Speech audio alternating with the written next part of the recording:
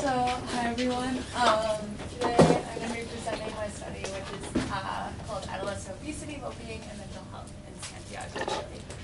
Uh, this study is going to take, oh, uh, this study is going to take place at INTA, uh, which is the Instituto de Nutrición y Tecnología de los Alimentos. Um, basically, just to give you some background about the institution itself, um, this institution is run by Dr. Rowley, um, who, uh, who, um, and uh, basically, um, the research at INTA it used to focus on the prevention of, of pediatric malnutrition, and now uh, their interdisciplinary focus mostly, mostly focuses on obesity and the prevention of chronic diseases. Um, in addition to the research, there's also a clinical component, and they look at sort of the diagnosis of metabolic and genetic diseases, and there's also an educational component, which basically means they offer graduate courses and advanced degrees in nutrition. Um, in, ter- oh, uh, in terms of uh, the GOCS study itself, sorry, it's missing a apostrophe. Um, but the GOCS is um, is short for the Growth and Obesity Cohort Study, um, and it's a, and this is a large longitudinal study of 1,195 low and middle income children who have been recruited from six Jardín infantiles in the uh, metropolitan region of Santiago. Um, basically, the study was broken down, uh, has been broken down into three phases. The first stage um, was basically when these kids were in preschool, and that's when they first uh, sort of recruited kids for the study. At that time, they collected uh, anthropomorphic measures as well as birth anthropomorphy. Um, in stage two, the children were seven to ten years old, so they came back in for study visits once every six months. Um, and at that time, they collected anthrop- anthropomorphic measures again, as well as measures of physical activity, diet, and prepubertal maturation.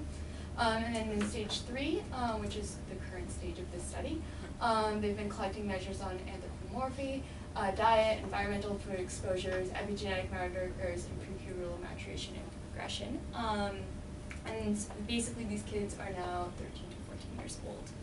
Um, so essentially, like, and so now that you have some context, the goal of my specific study is to add validated measures of um, quality of life uh, and well-being to the surveys that they've already established um, as part of the study. Um, and the research questions then are sort of twofold. Um, one of the questions is um, one of the questions, sorry, uh, one of the questions is um, sort of what impact does overweight and obesity have on health, on quality of life in these in these cohort of adolescents. And the second one is how we can maximize uh, the response to survey questions for adolescents enrolled in the GOCS study. Um, so then, in terms of the literature, there's sort of um, a lot. Um, just as a side note, I realized that my uh, that the title for my original project was Adolescent Obesity, Well-Being, and Mental Health in Santiago. Um, but then after doing the re- the lit review, I sort of realized that actually quality of life and well-being prior to what I thought are not the same thing. And since well-being measurements are still newer and are still being developed, I thought it would be more appropriate to look at quality of life. Um, so the literature on obesity essentially has uh, said that, like basically previous studies have found that there is an association between obesity and lower quality of life scores in adolescents.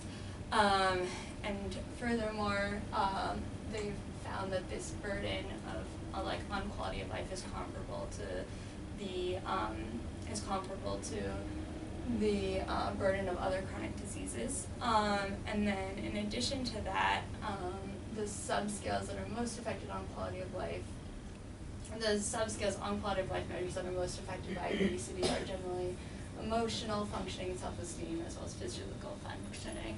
Um, and then the last thing is the uh, importance of self-perception.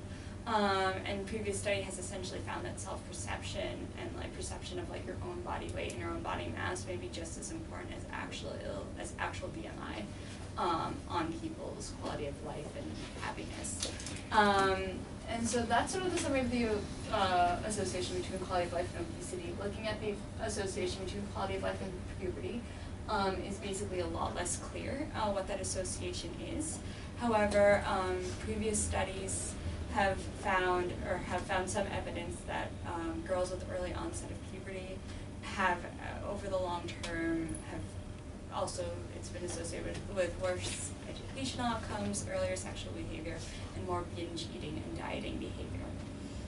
Um, however, one very, very long-term longitudinal study by Johansson and Ritzén in 2005, like basically took a sample of girls and followed them for long periods of time, and they found no association between on early onset of puberty and quality of life measures itself. So like it's unclear what sort of um, findings exactly we'll, we'll have with that.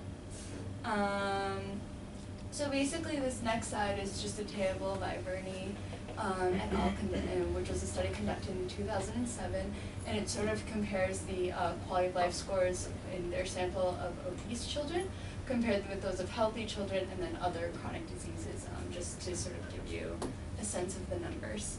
Um, so then after looking at the research, um, we essentially hypothesized that, um, consistent with previous findings, we expect that um, adolescents who are overweight and obese will have lower quality of life scores in our sample of adolescents.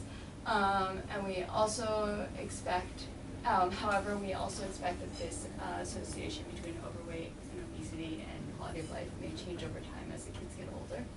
Um, and then in terms of puberty, um, timing of puberty, that we like it may also have an effect on quality of life. Um, and specifically, girls who have early onset of puberty may have quali- or lower quality of life scores, although again, uh, there's less prior evidence for that. Um, and then the other, the last part of my, um, did I? No, okay. Uh, and then the last sort of part of the component of my survey, sort of like really looking at recruitment um, for our study, um, and essentially like in terms of getting these kids engaged in the research and getting them involved, we think that they'll be more likely to respond to surveys if we provide them with extra incentives such as a lottery, um, rather than giving them nothing. Um, and you know, it'll it'll be uh, interesting to see if was if the survey responses vary to whether based on whether um, these children answer our surveys in clinic online or over the phone. In terms of research objectives, um, essentially the primary objective is to add these quality of life scales to this big longitudinal study, as I already said. And then the specific uh, objectives are first to make sure that the quality of life scales that we're using are age and linguistically and culturally appropriate. Um, and the goal, one of the goals will be to pilot the survey tools.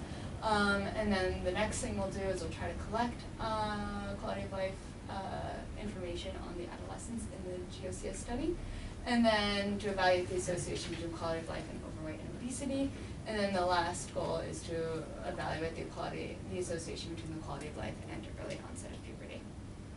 Um, basically, the uh, potential, oops, didn't change there. Um, the potential impact of the study, um, first of all, is academic, you know, uh, by adding, you know, this will basically see what the relation, this will basically clarify the association between obesity and quality of life in a community sample of adolescents. Um, and it'll also, this research will also establish um, baseline measurements for future research and quality of life uh, research.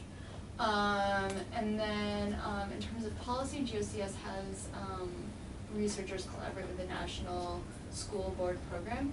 Thus, there's a possibility that these results can influence direct policies regarding adolescent nutrition and mental health.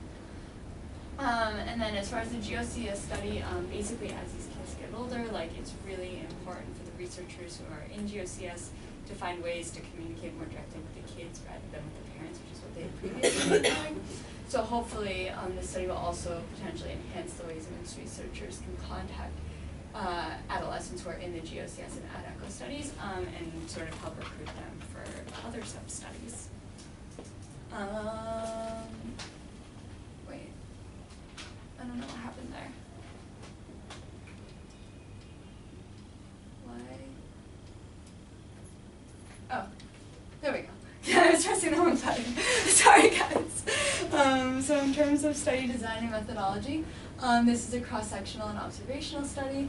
Um, basically, the study has two parts. In December, January, and March, really the goal is to uh, obtain validated measures of quality of life and mental health, and then translate the survey tools into Spanish using best practices, which essentially means translating the tools from English to Spanish or adapting them to Chilean Spanish if they've already been translated to Spanish and then back translating to English. Um, and then comparing the two English versions side by side, seeing if there's any difference. Um, and then the last step is to pilot the survey on 15 adolescents and test for reading and, and test for comprehension and test for test reliability. And then um, in April through August, the goal will be to focus on survey implementation. So that means um, asking survey questions to adolescents in person, online, and over the phone, basically getting as many survey responses as we can, and then analyzing the data to test again the association between obesity, onset of puberty, and quality of life using both univariate and multivariate analyses. Um, oops, I did the same thing again.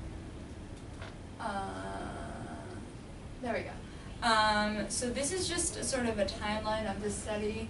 Um, right now, and we're in March, so there's a lot to do. Um, the lit review has been done. Um, we're pretty much in the process of figuring, and so now we're pretty much in the process of figuring out which measures to use.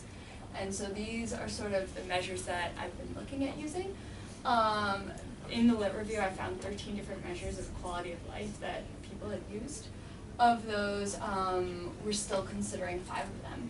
Two of these measures are generic, which means that they can be used for any sort of population. They're not disease specific at all. Two measures are generic with disease specific, obesity specific modules, and then two, and then one measure is just obesity specific. Um, and then this is sort of looking at still at those five um, quality of life measures that we're considering. This is sort of the names of the different ones, um, the number of items that they use, and the number of dimensions. And um, yeah, and then the collaborators for the study um, are um, Camila Corvalán, the University of Chile, Karen Michels, Mariela Brito Martinez, uh, uh, Alvaro Verges, and Nancy Gonzalez Centeno. Um, most of my connections are either at the University of Chile or the University of Católica, and, and you know, just to reiterate again, INTA is part of the Universidad de Chile, so, um, and then it's sponsored by the U.S. Fulbright program. Um, and Camila is in the back corner there, um, and she's one of the advisors for the project as well. So yeah. um, that's it. Does anyone have any questions?